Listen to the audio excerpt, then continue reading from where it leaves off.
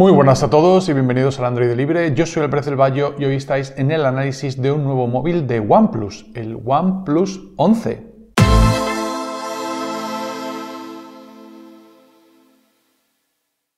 En el mercado de los teléfonos móviles hay multitud de marcas, multitud de empresas y de compañías. Una de las que más diferente ha hecho las cosas hasta hace no mucho fue OnePlus, una decisión de Oppo cuando Oppo no estaba presente en mercados como el español o el resto de mercados europeos. También entró ahí Realme, pero esa es otra empresa. En este caso vamos a centrarnos en el último modelo que ha llegado a España, el OnePlus 11 que se pone a la venta en febrero de 2023, pese a que fue anunciado ya con anterioridad en países asiáticos, en concreto en enero de este mismo año, de 2023. Es este un dispositivo que llega solo, no llega con un modelo Pro ni con un modelo Ultra ni nada parecido, que no sabemos si llegará en un futuro, pero eso hace que lo podamos analizar en el contexto de que es el mayor exponente ahora mismo de la marca y lo ha hecho bastante bien, acercándose a un precio de gama alta que no ultra alta, no llega a los 1000 euros de precio de partida ni muchísimo menos, pero con unas prestaciones bastante interesantes, entre las que destaca el procesador. Pero como siempre hacemos en los análisis, vamos a empezar por el diseño. Si a mí me preguntáis, ¿te gusta el OnePlus 11? Yo puedo decir, hombre, pues por delante es como un terminal normal y corriente porque son prácticamente todos iguales con la pantalla curvada, pero por detrás no me llama mucho la atención. El color es bonito, pero agarra las huellas y sobre todo el módulo de cámara no me hace mucha gracia. Pero, ¿y si le preguntáis lo mismo a la gente de la calle, a los potenciales compradores? Entonces la cosa cambia. Me ha llamado la atención porque un par de personas que han visto el terminal mientras lo estaba analizando me han dicho, ¡hala! ¿Qué móvil es ese? ¡Qué bonito! Y yo, pero si tiene un módulo de cámara muy feo, desde mi punto de vista, claro. Y me han dicho, no, no, no, nos gusta. Así que me callo, parece ser que yo el gusto lo tengo un poquito averiado y a la gente le gusta, que es lo importante y lo que le importa a OnePlus. A mí me recuerda al Vivo X80 Pro, un terminal que me flipa fortísimo, como ya sabéis, pero cuyo módulo de cámara no me gusta en absoluto, estéticamente, porque las cámaras son una pasada. Lo mismo digo aquí, las cámaras, ahora hablaremos de ella, pero el módulo de cámara pues no me llama mucho la atención. Sigue teniendo la firma de Hasselblad en la colaboración que inició hace unos años eh, OnePlus con el OnePlus 9 Pro y aquí se mantiene. Pero la cuestión, ¿qué es lo que diferencia en el diseño este terminal de otros? Pues un botón, el Alert Slider que vuelve después de haber estado ausente en otros modelos de la marca y en el que podemos poner el sonido, básicamente pues eso, en sonido, en silencio o en vibración. Es un botón que los más fans de OnePlus valoran mucho, pero que yo personalmente no uso nunca, pero bueno, es bueno saber que está ahí. En concreto está en la parte derecha junto con el botón de encendido. En la parte izquierda tenemos los dos botones de volumen, OnePlus lo sigue diferenciando de lado, y en la parte superior solo tenemos un micrófono.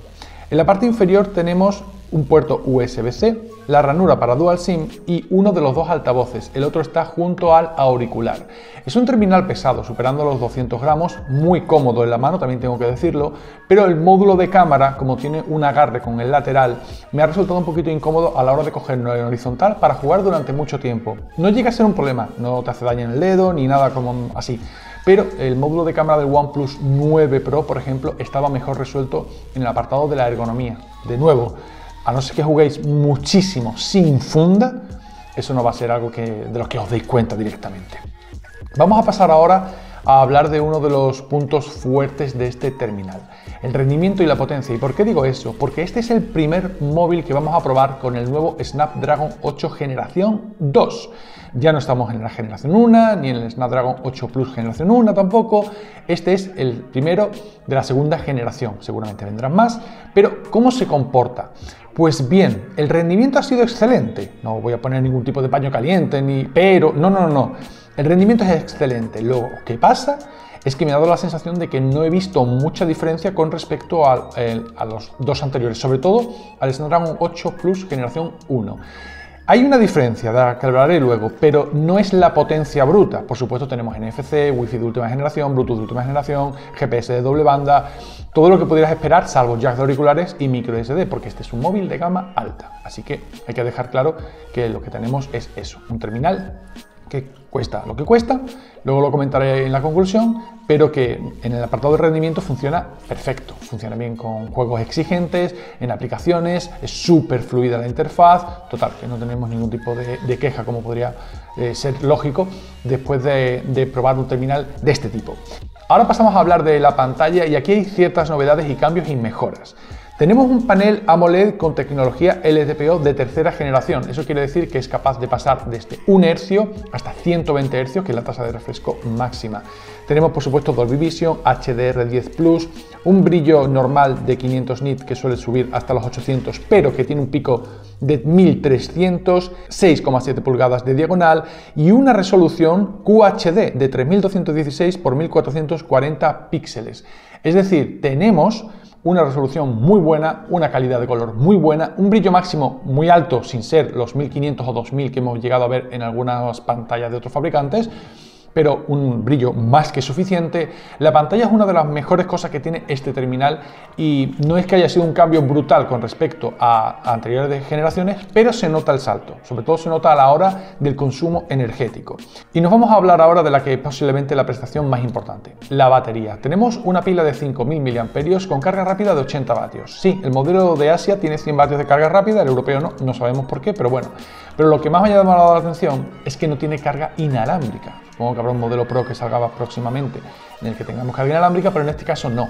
Y hombre, es un móvil que para ser un gama alta no es especialmente caro, pero cuesta mucho dinero y ya en este rango de precios demandamos que tenga carga inalámbrica, aunque sea de 15 vatios, una cosa normalita.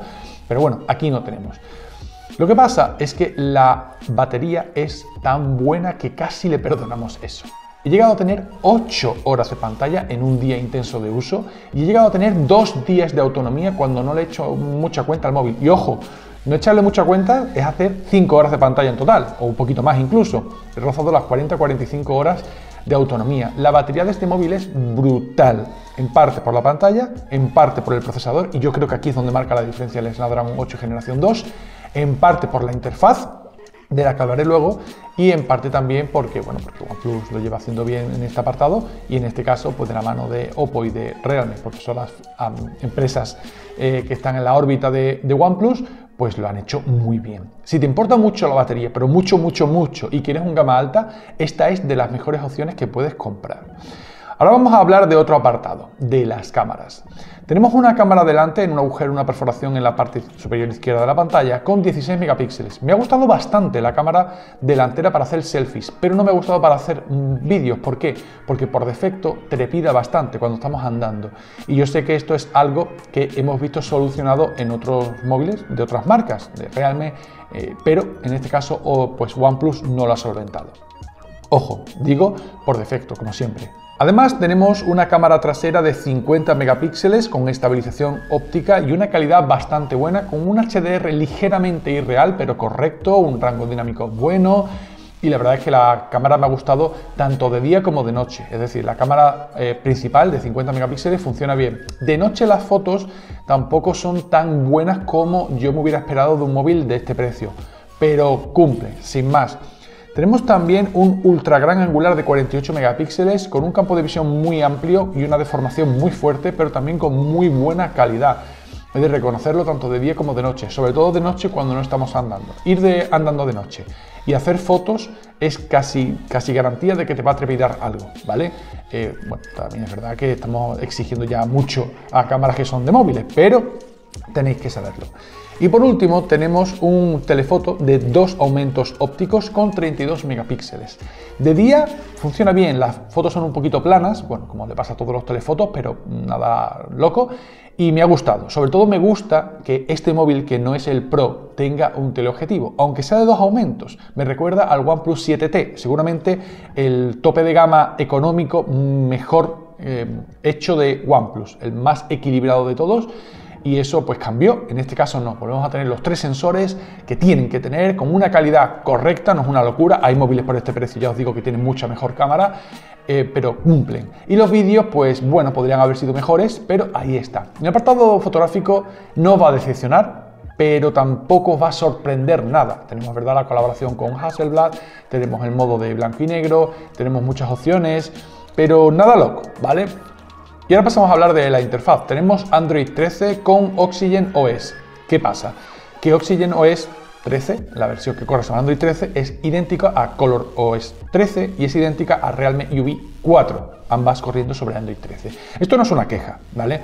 Eh, la interfaz funciona súper bien. Hace poco analizamos el, Realme 10 Pro Plus y me gustó mucho el software. Este es exactamente el mismo y me sigue gustando exactamente lo mismo. Muy bien. ¿Podría ser mejor en alguna cosa? Podría ser, pero no tenemos ninguna queja. La velocidad es brutal, la fluidez, la personalización, la velocidad a la que se cargan las aplicaciones, todo, de verdad, no tenemos ningún problema. Lo único que pasa, y paso a la conclusión ya de este análisis, es que al software le pasa lo mismo que al resto del móvil. Estamos ante un terminal que cuesta 849 euros en la versión de 8 y 128. Podéis comprar una versión con más memoria RAM y más almacenamiento por mayor precio, pero el base es 849. está peleando con el Pixel 7 Pro. Y esto es, son palabras mayores. ¿Por qué? Porque este terminal tiene a lo mejor una pantalla un poco mejor, tiene una autonomía bastante mejor, de hecho, pero luego en cámara flaquea. Pero el problema no es el Pixel 7 Pro, el problema es ¿Qué aporta OnePlus con el OnePlus 11? Tenemos un móvil de gama alta que cumple bien en todo, destaca un poquito en batería, pero un poco. Y la cuestión es que no destaca en nada lo suficiente como para barrer a la competencia. No tiene una mejor cámara, no tiene el mejor diseño. Es verdad que es un móvil muy equilibrado y eso no hay que dejarlo de lado ni, ni infravalorarlo, de verdad. Es algo que se valora, como digo, y que se agradece pero parece que OnePlus sigue perdiendo su identidad. Ha vuelto el slider y la batería es buena, pero ¿qué más aporta? ¿Qué diferencias hay entre un móvil de esta marca y de Realme o de Oppo? Porque es muy poca, ¿vale? Es verdad que tenga algunos toques de hardware y de software eh, el Hasselblad, pero poco más. Hasta los Oppo de mayor gama tienen ya la colaboración con Hasselblad. Es decir, OnePlus se está diluyendo. No quiero decir que sea un problema, pero lo que yo haría de Oppo quizás es convertirla en una submarca de la propia Oppo directamente, hacer desaparecer la marca, al menos en países donde los Oppo funcionan muy bien, como es el caso de España y el resto de países europeos. Pero el móvil como tal me ha gustado. Quiero dejarlo claro, que parece que estoy diciendo que el móvil es malo o algo así. No, no, no, no. El móvil me ha gustado, es muy equilibrado. Si alguien me dice, oye, me he gastado 850 euros en este móvil, yo diré, bueno, pues bien, no te vas a arrepentir. ¿Verdad? Que necesitaríamos un poquito más de memoria interna, quizás yo con 128 ya no, no, me es suficiente. Y si vas a pasar a los 900 y pico que cuesta la versión con 256 GB, te lo tienes que hacer pensar. Solo tiene 8 GB de RAM, no es que le haga falta mucho más, ¿vale? Pero por hardware 8 GB. Y claro, hay terminales de este precio que, que ya tienen 12 GB y mucho más baratos. Le falta algo de diferenciación a OnePlus en este caso. ¿Ese es un problema para la marca? Seguramente no, pero ve cómo convence a los potenciales compradores de que se compren este móvil y no otro. Es decir, argumentos hay pocos pese a que es un móvil muy bueno, lo vuelvo a decir. Espero que os haya gustado el vídeo, que os haya gustado el OnePlus 11. Si es así, suscribíos al canal, marcad la campanita para que os lleguen las notificaciones y nos vemos en el próximo. Un saludo.